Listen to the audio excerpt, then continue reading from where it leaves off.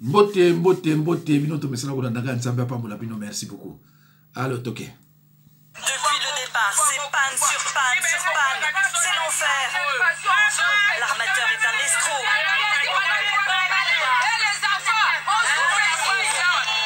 C'est vraiment la galère. On a à peine de quoi manger.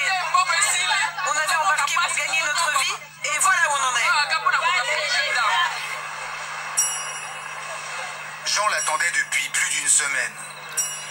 Un convoi de marchandises. Un mastodonte de rouille d'acier qui ne transporte pas que du fret. Un bateau bidonville de 200 mètres de long. Allez, ramez, ramez. Plus de 700 personnes embarquées dans une traversée infernale d'un mois. Jean vient les ravitailler.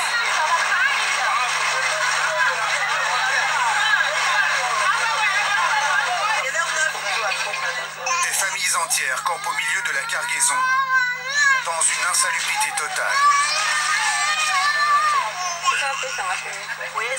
Bah bien sûr que c'est mauvais de boire l'eau du fleuve. Mais bon, je vais pas en mourir. Ces hommes et ces femmes n'ont pas le choix. En République démocratique du Congo, le fleuve est l'unique moyen de transporter hommes et marchandises d'un bout à l'autre du pays. Aucune route traverse les 1700 km de forêt équatoriale.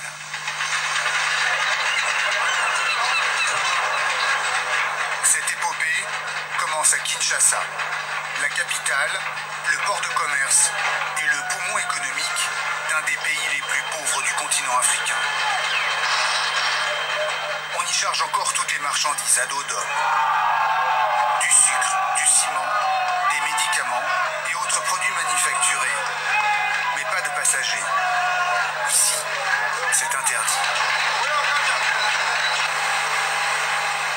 Les passagers attendent à 10 km de la capitale.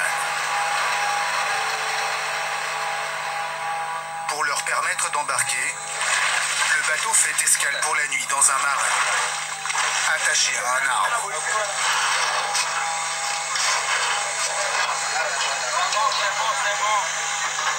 Dans l'obscurité, surgissent les premiers voyageurs dans des pirogues bourrées de marchandises.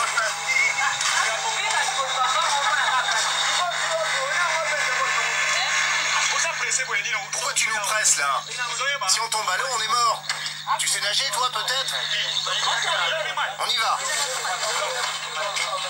Attention.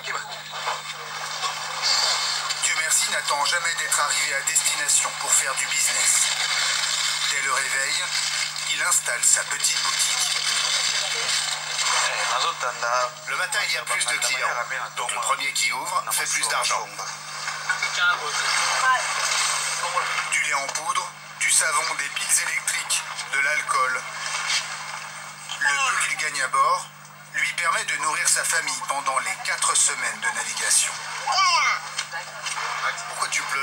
Pourquoi tu pleures T'as faim Je vais aller te chercher un beignet. Du jour au lendemain, un petit village s'est installé avec des dizaines d'échoppes. Combien tu vends tes boîtes de tomates? 300 francs. J'ai fait des beignets, mais personne m'en achète. Mets-moi un sachet.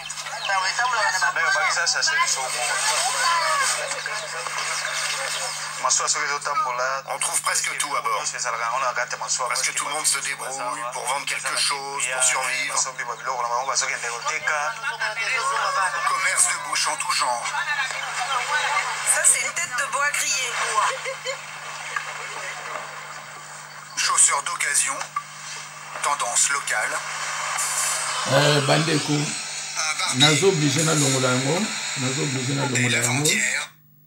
Bandeko eza mawa na soni komona mboka oyo etonda kita ti lelo bomoni ndenge bato baza kovivre.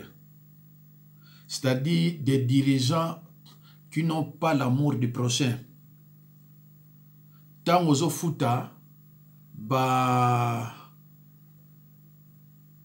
badepute bozofuta bango 22 000 francs bato boza kolembana mpona kosatisfaire bato bazouta na baéquateur après bolingi tozalaka toujours eh, place moko tokabwana te. Soki ozosoutenir ke tozalaka place moko badirigeaka biso na bato baza na mitu te. Ah, donc etali yo. En tout cas bandeko na suki wana. Botala bino mo baimage baimage epesa bino réponse merci